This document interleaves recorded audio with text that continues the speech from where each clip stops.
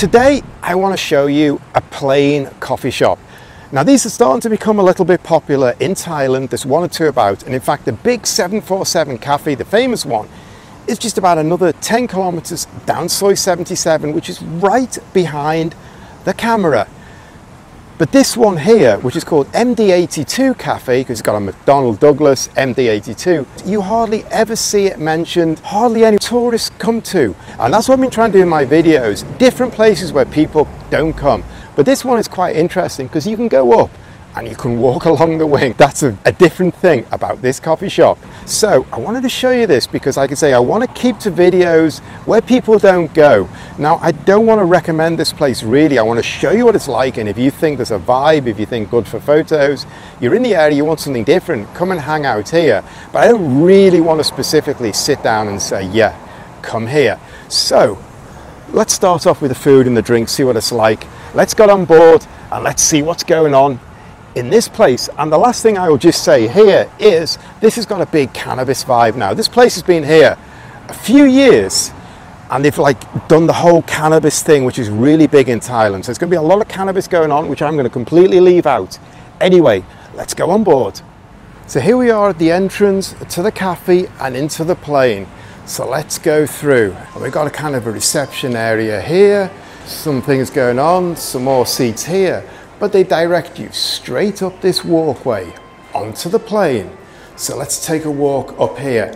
And this is not like an open walkway on a plane, it's all air conditioned, but it's quite cool. It feels like you're going up onto a plane, although the steps are a little bit narrow, and there's quite a lot of little steps here as well. Then we get to the door. Now the door's still here, but it's been covered in this aluminium sheet and it looks pretty tatty to be honest. Got the big handle here, but this is all stopped and you can see how the fuselage has been built into this plasterboard wall. But nice, I think this has really been nicely done. Now if we go in, I've got to watch my head. Got a load of switches here, got the cockpit here, which I'll come back to in a minute. Got the toilet here, which I'll check out in a minute. And then if we walk into the main body of the fuselage, it's been pretty nicely laid out.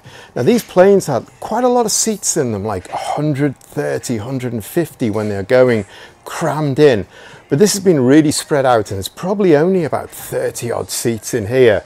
And most of it's been done in two rows of three. You can see quite a few here. Then we've got a seating area here, kind of like a lounge style here where everyone can sit around. Quite nice, we've got these lounge seats here. And then if we get to the end, you can see we've got a bar. That's really like business class in the old days. We've got a bar here, so this kind of place is going in the evenings more than in the daytime. But it's kind of pretty nice actually, and I like also the use the trolleys here still to give it that vibe and the staff are wearing airline uniforms.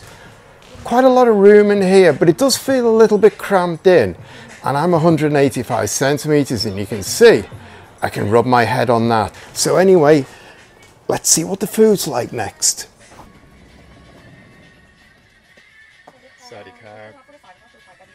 So let's look at the menu and straight away you can see the cannabis leaf here. We're going to be hit up with cannabis products as is the fashion now.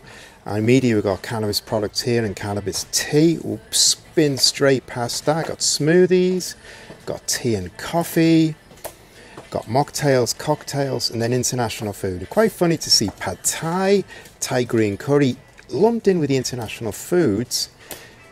Big page of pizza, page of spaghetti, but really what we get to is the big theme is Japanese food here. So surprisingly, this is a Japanese food themed restaurant and you can see they've dubbed it Landing Set. And these are kind of like the special offers as well, the good value ones. We've got quite a few pages of this.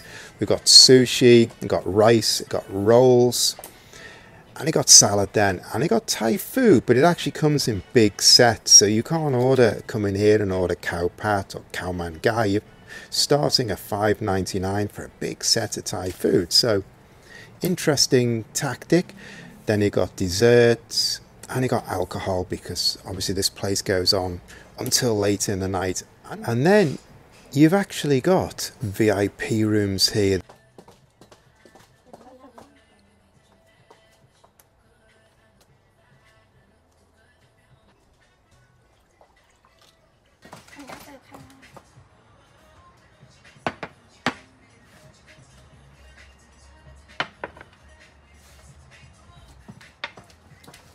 So I've ordered two things to try here.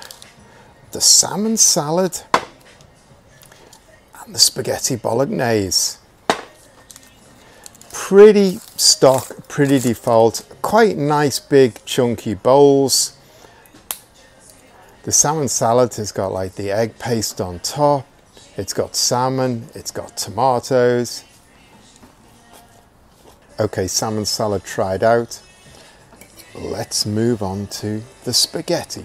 So it's time to check out the toilet. Nope. That is definitely not a toilet anymore. So let's go and look at the cockpit. But we've still got some of the bare bones of the cockpit here. We've got some levers here. We've got screens and switches here. A lot more switches and lights.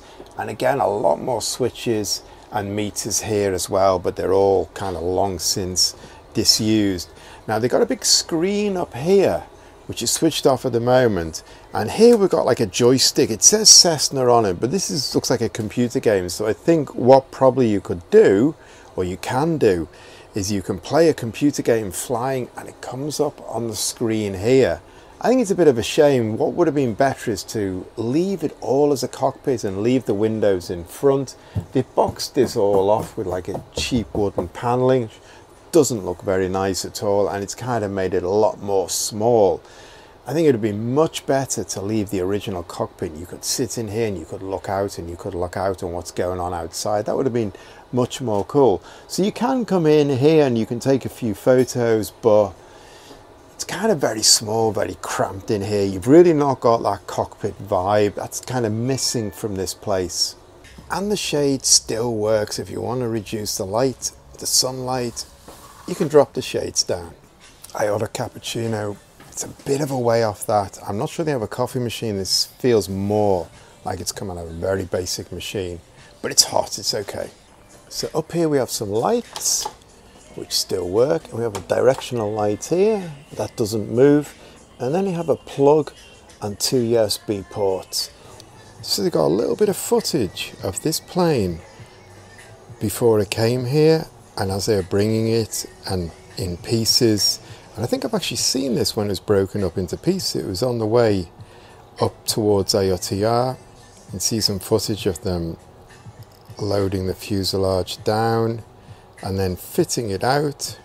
Lunch done. Let's have a little poke around this plane to be honest, I wouldn't really recommend coming here in the day for lunch. It's very, very quiet. Just kind of felt a little bit weird, bit strange, sitting on a plane, having lunch. No atmosphere. I mean, maybe at night, gets a lot busier, gets a lot more going on.